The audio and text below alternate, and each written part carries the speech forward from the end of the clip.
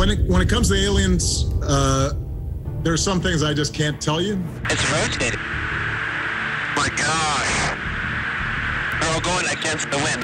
Look at that thing, dude. Truth is that when I came into office, I asked. There's footage and records of objects in the skies that we don't know exactly what they are. And I know that it was a UFO. I don't care what anybody says. You never told anybody about that?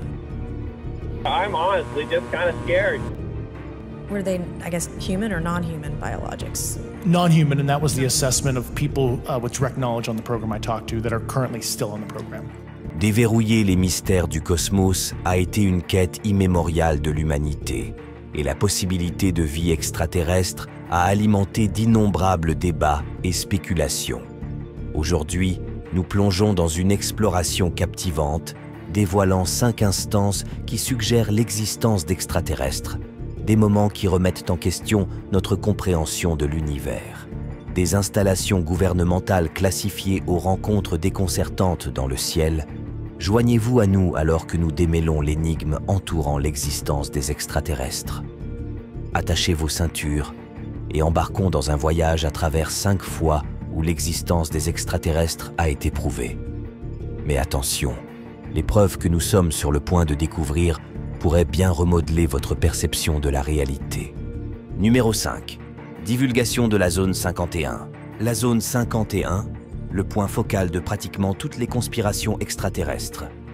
Au milieu des spéculations persistantes sur des activités militaires secrètes et des études extraterrestres dans cette installation de développement et de tests non divulgués, on ne peut s'empêcher de remettre en question la validité de ces rumeurs. Selon Bob Lazar, la réponse catégorique est un oui retentissant. Bob Lazar a affirmé avoir été recruté pour travailler à la zone 51 à la fin des années 80 avec une tâche remarquable, l'ingénierie inverse de vaisseaux spatiaux extraterrestres. Je m'appelle Bob Lazar.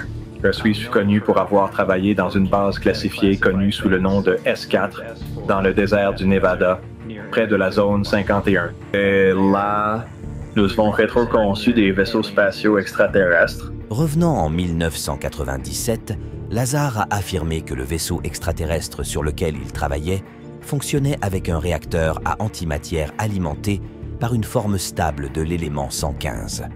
Notamment, les scientifiques terrestres ont officiellement synthétisé l'élément 115 seulement en 2003, et sa stabilisation reste un défi important. Lazare a expliqué que le réacteur qu'il examinait avait une sphère de la taille d'un ballon de basket en haut émettant un champ de force capable de repousser la chair humaine il a élucidé que le vaisseau était divisé en deux niveaux principaux. Le niveau supérieur abritait le réacteur au centre, avec une antenne s'étendant vers le haut, entourée de trois amplificateurs de gravité. Selon Lazare, ces amplificateurs servaient de guide pour l'onde de gravité, prenant la forme d'un cœur autour de tout le vaisseau et se rétrécissant en bas. Celle-ci était liée à des émetteurs de gravité au niveau inférieur, capables de pivoter à 180 degrés pour émettre une onde antigravité. Selon Bob Lazar, le vaisseau manœuvrerait ensuite ventre en avant dans ce champ de distorsion. Essentiellement, selon le récit de Lazare, les soucoupes volantes naviguent de côté plutôt que dans une position verticale, facilitée par des moteurs polyvalents permettant des mouvements dans n'importe quelle direction.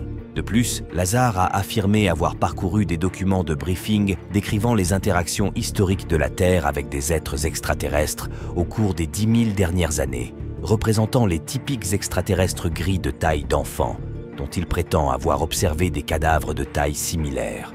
Jusqu'à présent, toutes les institutions où Bob prétend avoir travaillé ou étudié réfutent vigoureusement sa présence. Cependant, le journaliste américain George Knapp, qui s'est penché sur les affirmations de Bob, a soutenu que Bob présentait une familiarité avec l'installation conforme à celle de quelqu'un qui avait une expérience de première main. Naturellement, certains affirment que ce déni fait partie d'une dissimulation plus large. Malgré les affirmations selon lesquelles il est un technicien relativement inexpérimenté, il est à noter que Bob a construit une voiture à réaction à des fins récréatives et a obtenu une reconnaissance dans divers journaux pour ses créations innovantes, soulignant ses compétences en tant qu'ingénieur qualifié. Bob a même affirmé l'existence d'un scanner biométrique spécifique utilisé à la base, qui authentifiait l'accès en fonction de la mesure des longueurs osseuses dans la main. Initialement nié par le gouvernement, des décennies plus tard, le département de la Défense a reconnu l'utilisation d'un tel scanner à la zone 51 dans les années 80 pour le programme du chasseur furtif. Bob a corroboré que la version déclassifiée correspondait à celle qu'il avait rencontrée. À tout moment, l'une ou l'autre organisation aurait simplement pu reconnaître l'association de Bob Lazar avec elle, attribuant toute divergence à son prétendu état mental. Cependant, elles persistent à nier toute connaissance de lui, suscitant des questions sur leur motivation. Bien qu'il ne soit pas question d'affirmer la véracité absolue des affirmations de Bob, les nombreuses coïncidences énigmatiques rendent difficile pour quiconque de confortablement rejeter le scepticisme. En ce qui concerne la véracité des affirmations de Bob, il a toujours suivi le même récit depuis plus de 30 ans et aurait réussi des tests de détecteurs de mensonges sur le sujet. Cette constance peut prêter une certaine crédibilité à ses affirmations. Cependant, il est essentiel de considérer que Bob a fait face à de multiples condamnations pour divers crimes depuis son témoignage, un fait que les critiques mettent souvent en avant pour mettre en doute son histoire. Mais qui sait? Comme certaines des observations à venir pourraient vous faire penser qu'il dit la vérité. Numéro 4. Les Foo Fighters. En novembre 1944, un avion de chasse américain traversa les cieux nocturnes au-dessus de la vallée du Rhin, à la frontière franco-allemande. Dans l'obscurité, un lieutenant observa une séquence de lumières lumineuses perturbantes au loin, les prenant pour des armes aériennes allemandes. Ils se préparèrent au combat, mais les lumières disparurent mystérieusement. Cela marqua le début d'une série d'observations inexplicables pendant la guerre. D'autres pilotes rapportèrent avoir rencontré des sphères lumineuses singulières, des lumières clignotantes et même des objets non identifiés volant à proximité. Ces phénomènes mystérieux furent appelés les Foo Fighters, un terme inspiré à l'époque par une bande dessinée populaire appelée Smokey Stover. Il est à noter qu'il existe également un groupe avec le même nom, mais il est improbable que Dave Grohl ait été présent dans les années 1940. La nature de ces Foo Fighters reste sujette à spéculation. Certains soutiennent que les soldats auraient pu souffrir de fatigue au combat, suggérant que le stress et le traumatisme de la guerre ont conduit à des hallucinations. Cependant, ceux qui connaissaient les observateurs affirmaient qu'ils semblaient mentalement stables, une autre théorie suggère que les Foo Fighters étaient des engins ennemis expérimentaux. Mais si tel était le cas, ne le saurions-nous pas maintenant? Beaucoup pensent qu'ils étaient de véritables visiteurs extraterrestres, venus observer et apprendre sur les avions humains. Si c'est le cas, pourquoi ne rencontrons-nous pas d'ovnis nous suivant pendant les vacances? Considérez ceci, la Seconde Guerre mondiale reste le conflit le plus dévastateur de l'histoire humaine. Il est concevable que des extraterrestres entendant le tumulte depuis une galaxie lointaine, est entrepris d'enquêter sur l'agitation. En voyant la folie du comportement humain, ils auraient pu se retirer rapidement, entraînant un déclin des observations. Tout est réglé Fantastique. Reprenons notre discussion.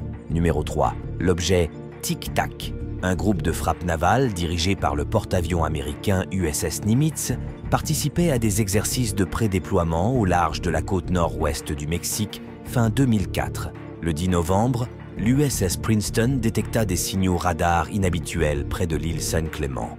Ces signaux ne correspondaient à aucun aéronef connu et se manifestaient de manière aléatoire par groupe de 5 à 10 à la fois. L'opérateur principal du système radar, possédant près de deux décennies d'expérience avec ces systèmes et une expertise dans les appareils scientifiques de l'époque, trouva la situation déconcertante.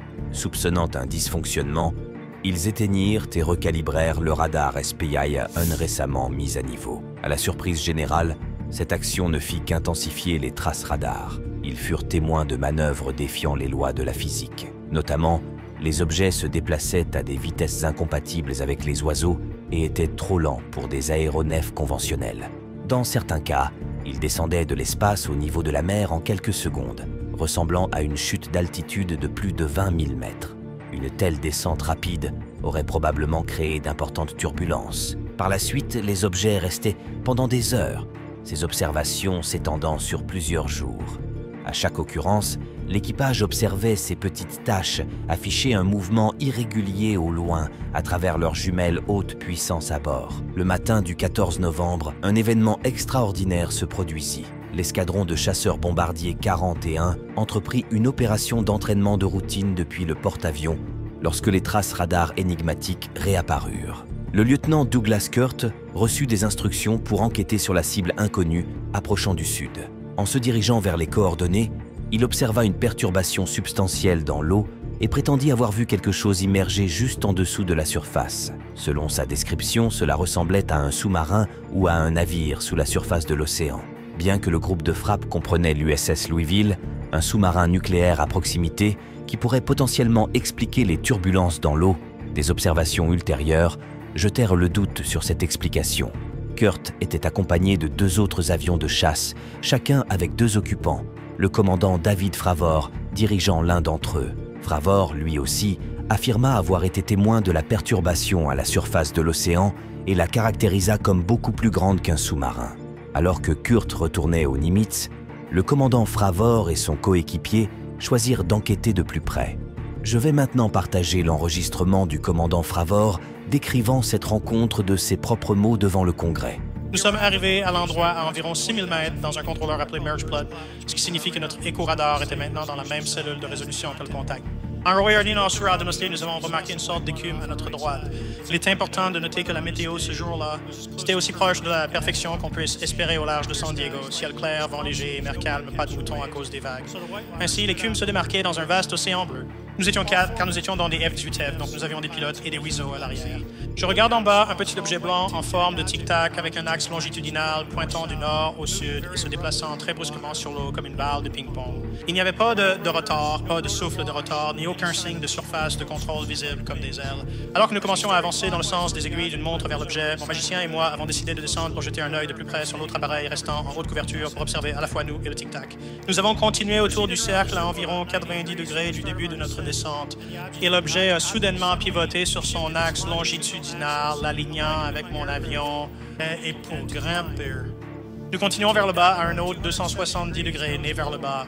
Où le tic-tac, nous avons consommé 270 degrés et nous sommes descendus vers l'endroit où aurait été le tic-tac. Notre altitude était alors d'environ 4500 mètres et le tic-tac d'environ 3600 mètres. Lorsque nous nous sommes approchés de l'objet environ un demi-mile, il a accéléré rapidement devant nous et a disparu. Nos alliés, à environ 2400 mètres au-dessus de nous, ont également perdu le contact. Nous, nous sommes immédiatement retournés pour voir où se trouvait l'eau agitée et elle avait également disparu. Donc, quand vous avez commencé à revenir vers l'est, le contrôleur est intervenu et a dit Monsieur, vous n'allez pas le croire, mais cet objet est à votre point de rendez-vous à environ 100 km en moins d'une minute. Nous sommes retournés aux Nimitz, nous enlevions notre équipement, nous parlions à l'un de mes équipages qui se préparait à décoller, nous leur avons mentionné, et ils sont sortis et ont heureusement obtenu la vidéo que vous voyez, cette vidéo de 90 secondes.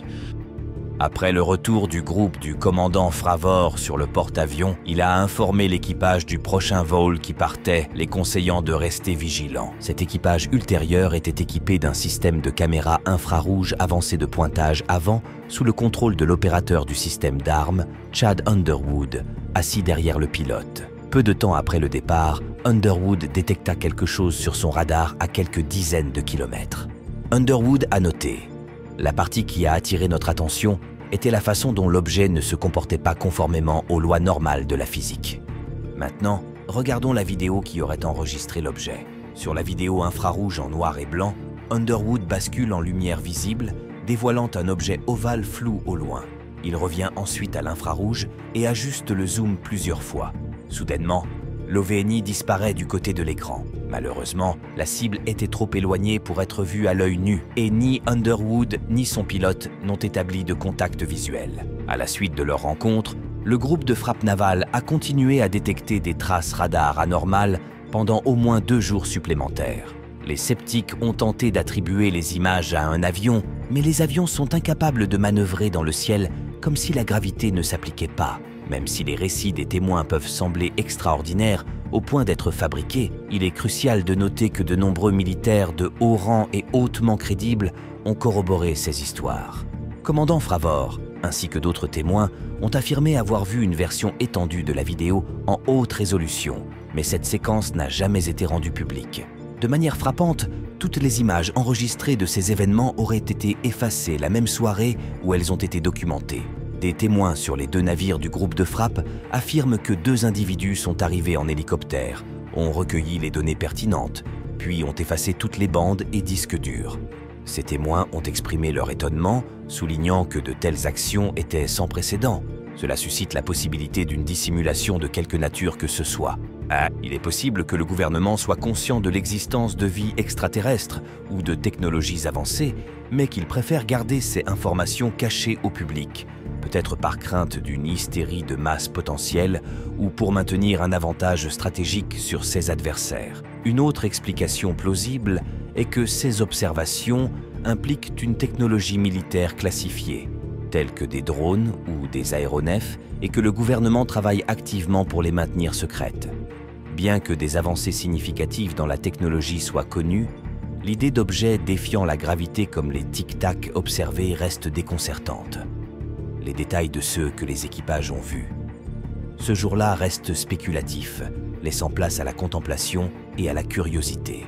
Le commandant Fravor estimait que l'engin mesurait environ 12 à 15 mètres de long, ressemblant à un tic-tac. Cependant, les détails de l'apparence du tic-tac demeurent ambigus. Ces objets étaient-ils opaques, semblables aux OVNI typiquement représentés, ou comportaient-ils des cockpits avec des pilotes extraterrestres contrôlant l'engin, s'éloignant seulement après que leur opération ait été perturbée? Malheureusement, ces spécificités restent évasives, laissant place à des questions sans réponse et à un sentiment de mystère. Numéro 2. Le cube mystérieux. Enfermé dans une sphère translucide, une rencontre comparable à l'incident du Tic Tac a été capturée en vidéo sur la côte sud-est des États-Unis au début de 2015. Bien que ceux qui ont enregistré les images ne se soient pas manifestés, certains membres d'équipage et pilotes ont partagé des éléments de l'histoire. Environ une décennie après les premières observations de Tic Tac à l'été 2004, un groupe de frappe navale commandé par le porte-avions USS Theodore Roosevelt participait à des exercices d'entraînement au large de la côte de Virginie. La nature de cette rencontre présentait une ressemblance frappante avec l'incident précédemment décrit. Des traces radars anormales ont été initialement observées et rejetées. Mais à mesure que des objets hypersoniques défiant la gravité et violant les lois de la physique continuait d'être détecté, l'équipage a réévalué son équipement et a été convaincu de la réalité de ceux qui l'observaient. Les premières tentatives d'interception ont été infructueuses jusqu'à un moment critique où deux avions, volant à quelques dizaines de mètres l'un de l'autre, ont évité de justesse une collision en plein vol lorsqu'un objet inconnu a volé directement entre eux. Bien que les pilotes impliqués dans la rencontre ne se soient pas personnellement manifestés, le lieutenant Ryan Graves, un autre pilote de F-18, a rapporté avoir parlé à l'un des pilotes qui a atterri, décrivant que l'expérience l'avait visiblement perturbé. Le lieutenant Graves a élaboré sur cette rencontre lors de l'audition au Congrès sur les phénomènes aériens non identifiés, Lors d'une mission d'entraînement dans la zone d'alerte Whiskey 72, à 16 km de la côte de Virginia Beach, deux F-18 Super Hornets ont été séparés par un pan, phénomène aérospatial non identifié. L'objet, décrit comme un cube gris foncé ou noir à l'intérieur d'une sphère transparente, s'est approché à moins de 15 mètres de l'avion de tête et était estimé avoir entre 1,5 et 4,5 mètres de diamètre. Le commandant de mission a immédiatement terminé le vol et est retourné à la base. Notre escadron a soumis un rapport de sécurité, mais il n'y a eu aucune reconnaissance officielle de l'incident et aucun autre mécanisme pour signaler les observations. Bientôt, ces rencontres sont devenues si fréquentes que l'équipage aérien en discutait comme partie intégrante de leur briefing pré-vol habituel. Dans ce cas, l'engin décrit prenait la forme d'un cube enfermé dans une sphère translucide. Étant donné l'étonnement probable et la surprise des deux pilotes, il devient difficile de discerner précisément les détails de ceux qu'ils ont observés dans un laps de temps aussi bref. Le lieutenant Ryan Graves a souligné que cet incident n'était pas isolé et que des occurrences similaires avaient été observées par des dizaines de pilotes sur plusieurs mois. De plus, il a noté que les objets observés avaient la capacité de rester en vol pendant des périodes prolongées, parfois jusqu'à 12 heures d'affilée. Numéro 1. Bob Lazar avait probablement raison. Lors d'un incident ultérieur quelques mois plus tard, en 2015, lorsque l'USS Theodore Roosevelt était positionné au large de la côte de la Floride, des pilotes ont enregistré un autre clip qui a laissé tout le monde impliqué stupéfait. Notamment, l'engin capturé dans les images semblait tourner et manœuvrer d'une manière rappelant quelque peu la description donnée par Bob Lazar, notamment en termes de vol sur le côté. La forme de l'engin présentait même une configuration en forme de cœur, évoquant les récits de Lazare sur l'effet de distorsion de la gravité dans les...